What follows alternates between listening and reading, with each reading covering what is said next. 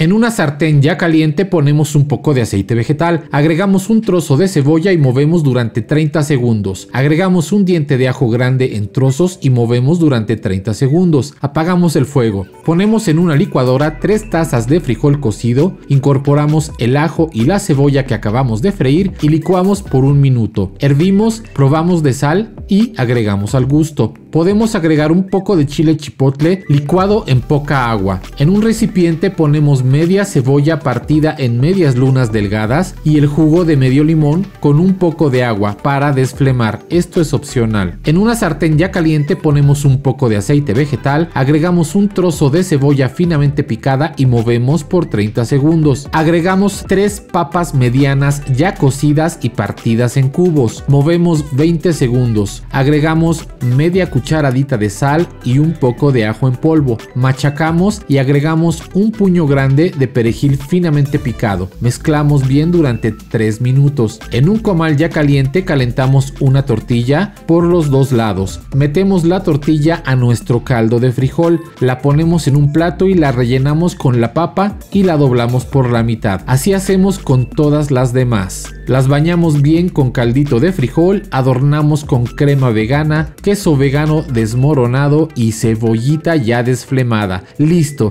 así nos quedan estas exquisitas enfrijoladas.